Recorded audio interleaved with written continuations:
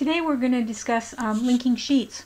So what we have here is we'll have a little example and so what we're doing is we're recording the marks for students. And so let's go through um, these sheets. Now I've renamed the first sheet total, the second uh, sheet Tom, the third sheet Joe, and the fourth sheet Susan. So let's go to Tom. And so um, let's say um, I'm sorry, let's go to Tom. Okay, and so now let, let's say that his marks, the tests are worth 40% and the assignments are worth 20%. So what we're going to do is we're going to do a little formula here. And we're going to go, we're going to select the mark. We're going to put star in for times. We're going to go 0.4, so that's 40%. And uh, we're going to drag that down because the next one's 40% as well. And then for the th third one, what we'll do is go equals, select that mark, go times and go times 0.2.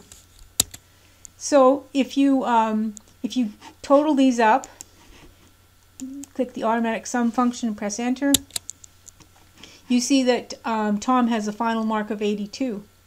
Now, to record this sheet on, on the total sheet, what you do is you go next to uh, the, the cell next to Tom where his mark will appear, and you simply click equals. You then go to the Tom sheet, you click on his final mark, and you press enter. Now let's go, for example, also to um, to do Joe's. Now Joe uh, didn't do quite as well as Tom, but it's still it's still going to be the 40% for each exam. So let's go equals this times um, 0.4 and then we can drag that down and then we will go um, equals this times um, 0.2 and then of course you automatically sum it and you'll, that will be his final mark. So he has a final mark of 64.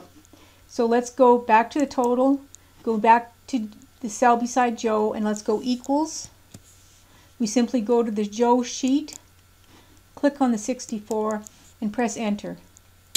And it will be uh, transferred over to this. Now this is like a little window to the sheet that it's linked in. So let's, for example, go to the Joe sheet, and let's say he protested the mark that he got on test 1. So now instead of 55%, let's say he's got 80%. And when you add that in the calculation, he changes from a 65 to a 74.